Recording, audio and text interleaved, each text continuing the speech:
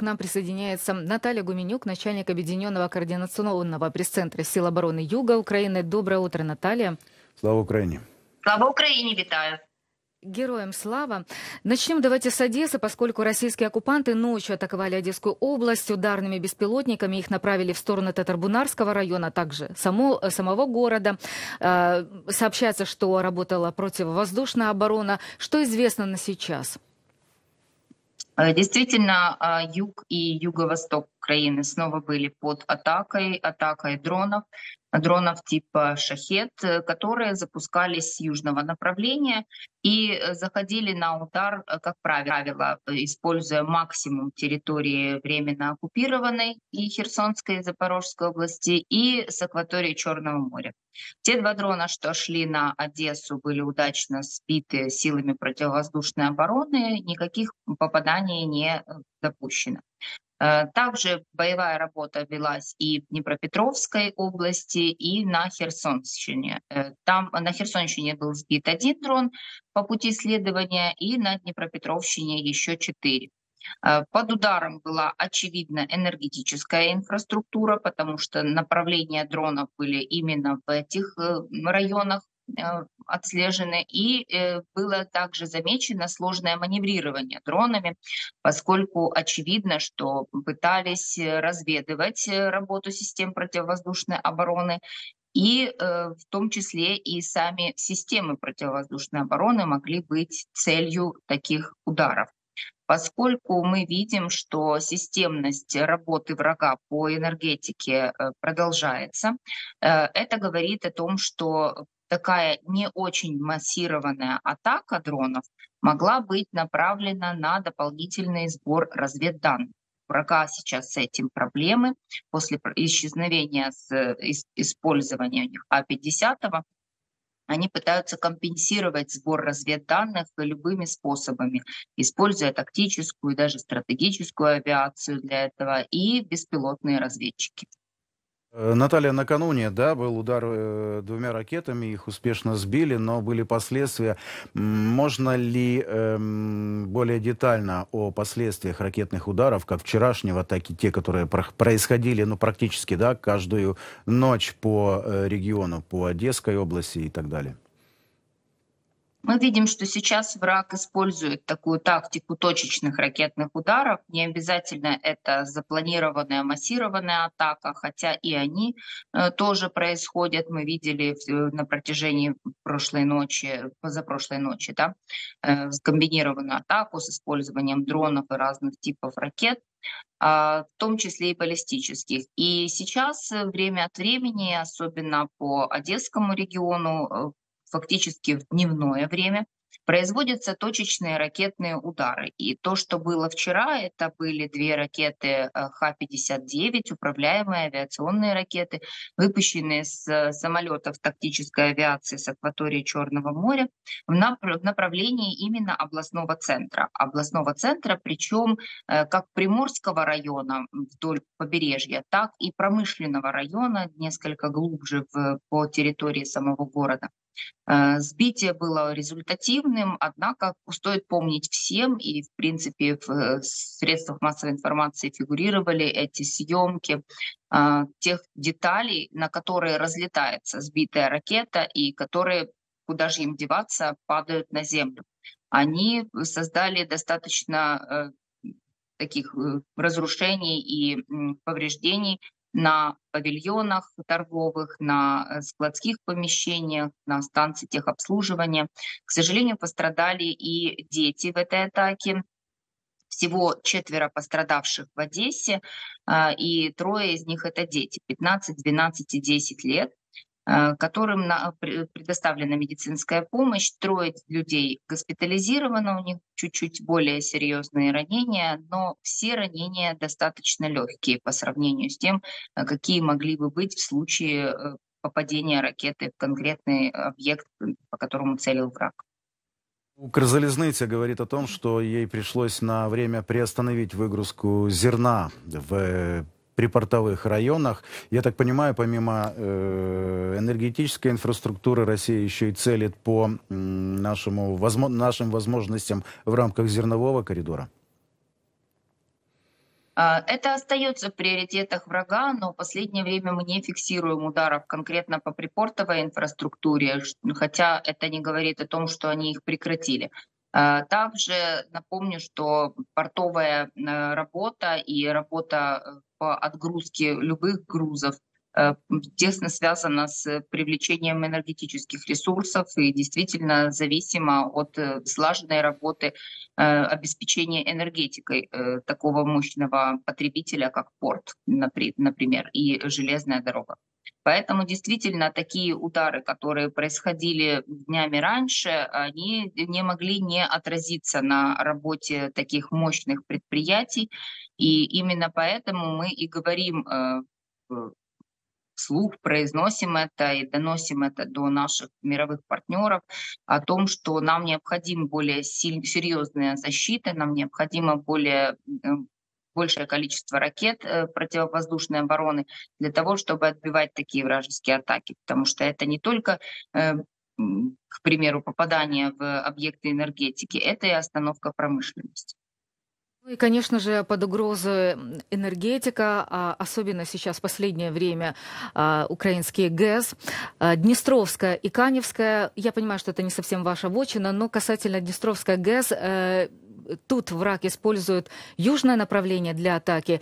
И что можно было бы сделать, э, я имею в виду, возможно, в контексте сотрудничества с Молдовой, также сообщал, были э, такие сообщения о том, что два, э, скажем так, воздушных э, ну, и либо дроны, либо ракеты исчезли над территорией Молдовы. Вот что можно сказать еще и по поводу этой информации? Но официальные э, источники не подтвердили этой информации, поэтому мы ожидаем все-таки, возможно, пройдет какое-то время, и будет она подтверждена или произведена проверка и опровергнута эта информация. А сам факт того, что враг направляет э, свои воздушные цели во время атак достаточно близко к границам, э, в том числе с европейскими э, государствами и странами НАТО, это уже такая устоявшаяся практика в нашем регионе. Это и э, румынские проблемы, когда э, дроны шли вдоль Дуная и оказывались на территории Румынии. Э, были зафиксированы ранее факты пролета российских ракет через территорию Молдовы и падения там беспилотника. То есть э, в каждом случае мы обращаемся на, через дипломатические каналы для того, чтобы получить официальное подтверждение такой информации и дальше использовать эти данные в глобальном судебном процессе, который все равно рано или поздно ждет Россию. А в данной ситуации мы можем говорить о том, что э, угроза таким серьезным э, энергообъектам, как ГЭС, это уже угроза масштаба большего, чем э, государственный, и выходящая за пределы самой Украины. Президент акцентировал на том, что э, стихия воды не остановится перед пограничными столбами. Мы такую трагедию уже пережили в внутри территории Украины, когда была подорвана Каховская ГЭС, и это, в принципе, было достаточно красноречиво продемонстрировано всем, какие последствия могут быть в случае, если э, враг, врага не остановить и не обеспечить нас теми средствами защиты этих объектов, которые позволили бы отбивать такие атаки. Далее, судя по сообщениям Генштаба, вот э, на левобережье Днепра количество атак российских оккупантов увеличилось в два раза. То есть по сравнению с предыдущими сутками всего два штурма. Да, и такая же картина на Ореховском направлении в районе Работина. Э, с чем вы связываете вот уменьшение такой интенсивности российских штурмов, мясных штурмов? Мясо закончилось у россиян или это другие причины? А, во-первых, очень серьезно влияет погода, штормовое предупреждение, которое держится несколько дней в этом регионе, и э, очень серьезные сильные ветра. И э, туманность и дожди не позволяют проводить качественно аэроразведку и обеспечивать прикрытие для таких штурмовых групп артиллерийским способом. Поэтому, не имея практики использования бронетехники, они продолжают находиться под эмбарго командирским и бронетехнику не используют, причем как на Запорожском, так и на Херсонском направлении. А, они, сами оккупанты в этих штурмовых группах а, слишком демотивированы и э, деморализованы для того, чтобы проводить мощные штурмы достаточно эффективно и часто. Если на запорожском направлении там более обустроена вся ситуация от ландшафта до э, скопления войск для того, чтобы регулярно проводить штурмы, то на направлении Херсонском, там, где в районе Крынок, враг э, безуспешно уже много месяцев пытается выбить наших с плацдарма, а, тут очень сложная ситуация у них с формированием штурмовых подразделений. Они уже вынуждены подтягивать ресурсы из э, более глубоких тылов за третьей линии э, обороны, э, которые ну, не должны по их расчетам быть в курсе того, какая ситуация на самом деле с рынками поскольку э, оттуда не возвращается 60-70% личного состава штурмовых групп. И такие серьезные потери для врага – это каждый раз, кроме э, реального отминусовывания личного состава, это еще и более серьезная деморализация личного состава в морально-психологическом плане. И у меня тут еще тогда уточнение, Наталья. Вот президент Украины Зеленский заявил, что украинской армии удалось стабилизировать ситуацию на фронте. А в целом, впрочем, ожидается новое российское наступление. Об этом он рассказал в интервью CBS News. Вот какая, какова ситуация на Южном фронте вы уже обозначили. Но а где, возможно, изменилась та же тактика оккупанта? И чувствуется ли подготовка к новым, возможно, атакам?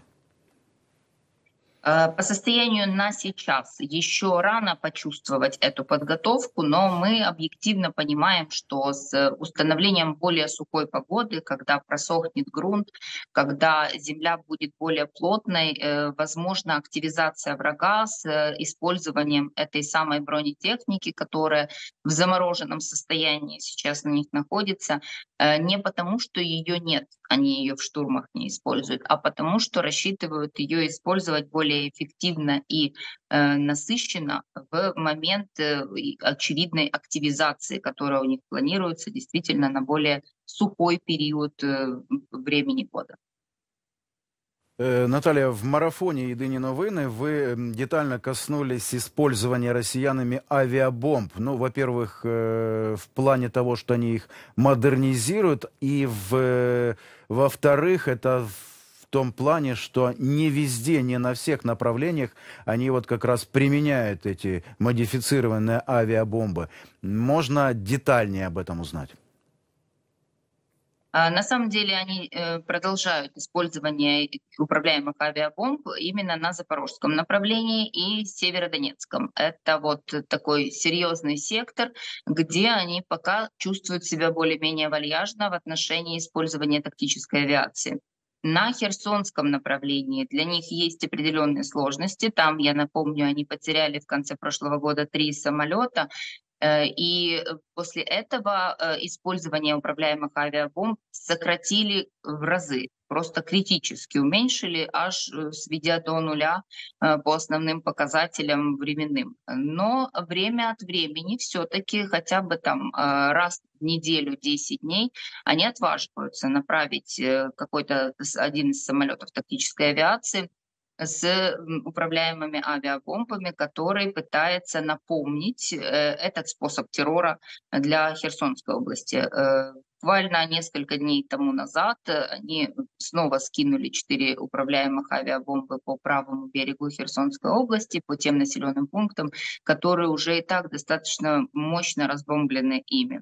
А, однако э, на э, запорожском направлении и северодонецком они продолжают это использование именно с позиции обеспечения поддержки штурмовых групп. Э, как правило, авиация отрабатывает перед тем, как начнется штурм, и пытается э, найти э, как наши позиции, так и наиболее значимые социальные объекты в населенных пунктах Запорожской области. И вот э, россияне, оказывается, еще и боятся продвижения вооруженных сил Украины к, аннексированным, э, к аннексированному Крыму и перебрасывать туда военную технику. На днях они переместили в Евпаторию целый танковый батальон, около 30 единиц. Об этом сообщает движение АТЭШ. Один из его агентов э, поговорил с офицером подразделения и выяснил, что танки были отправлены для усиления крымской группировки войск Российской Федерации.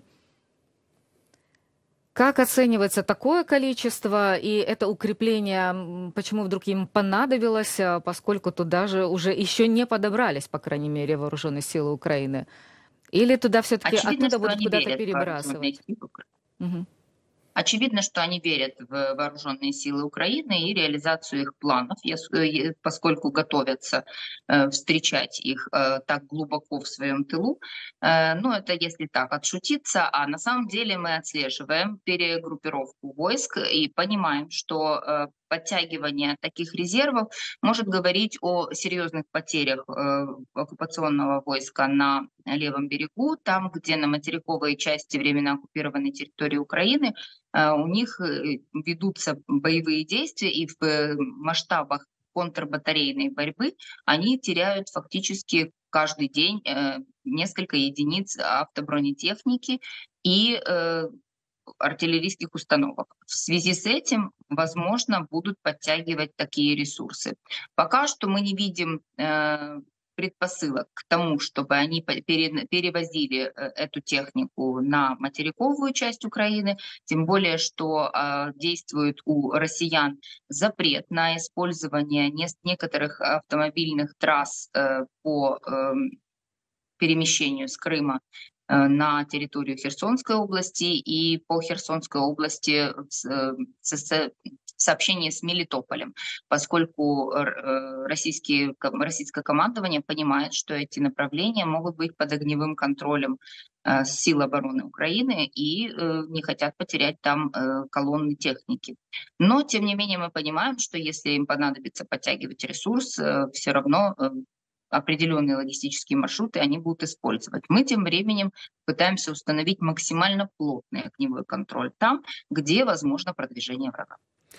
Э, на днях россияне направили в Севастопольскую бухту э, ракетный катер э, типа «Каракурт», который способен нести калибры. Вот если учесть эту информацию и недельной давности наш удачный удар по Севастопольской бухте. Какова сейчас ситуация в районе Крыма? Э, насколько э, произошло некое да, перемещение кораблей или, возможно, какая-то передислокация? Что на данный момент известно? А на данный момент у меня нет верификации информации про перемещение Каракурта. Вполне возможно, что это была больше информационная операция, направленная на убеждение, что не так боятся они Крыма. На самом деле потери, которые они понесли в отношении корабельно-катерного состава в, на Крымском полуострове, для флота достаточно серьезные. И э, хотя они давно не планировали и уже ну, даже не могут провести десантных операций в акватории Черного моря в отношении украинских берегов. Тем не менее, и наши оборонные позиции на десантно опасных делянках, участках остаются э, укрепленными и готовыми к подобному развитию событий. И они продолжают подготовку э, десантно-штурмовых подразделений в надежде на то, что, возможно, понадобится. И создание их Днепровской так называемой речной флотилии э, с таким широким пиаром ее, это больше все-таки направлено на информационную мотивацию своего же личного состава, потому что мы-то понимаем, э, каким путем будет двигаться эта флотилия и какие ее ждут неожиданности на этом маршруте. И также неожиданно было, хотя, возможно, уже и это определенная у них стабильность а, касательно сбития дружеского дня, сбития своих же сушек, Су-27, а, россияне это признают, и, собственно, в украинском ВМС тоже подтвердили, что это именно Су-27. Эм, как такое произошло и для чего, собственно, используют эти сушки россияне в Крыму?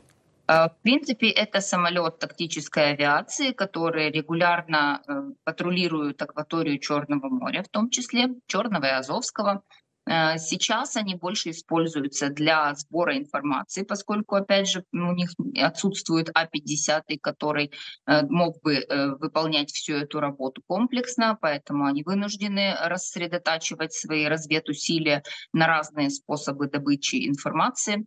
Также Су-27 используется и для пуска ракет по территории Украины, как управляемых, так и противорадиолокационных. А, поэтому э, в данной ситуации, как произошло и почему, скорее всего, от того, что опасность э, применения Украиной дальнобойных ракет в отношении Крымского полуострова врагом воспринимается уже действительно очень серьезно. Они понимают, что это может произойти в любой момент и последствия таких ударов осознают и уже пережили неоднократно. Возможно, где-то система дала сбой, и э, принята была своя цель за чужую, и сработала система противовоздушной обороны. Наталья, спасибо, спасибо огромное, что приняли участие в нашем эфире. Наталья Гуменюк, начальник Объединенного координационного пресс-центра сил обороны Юга Украины, была на связи с нашей студией. Вся правда о войне России против Украины. Узнавайте оперативные новости первыми в телеграм-канале Freedom. Freedom – только то, что действительно важно знать. Подписывайтесь, ссылка в описании.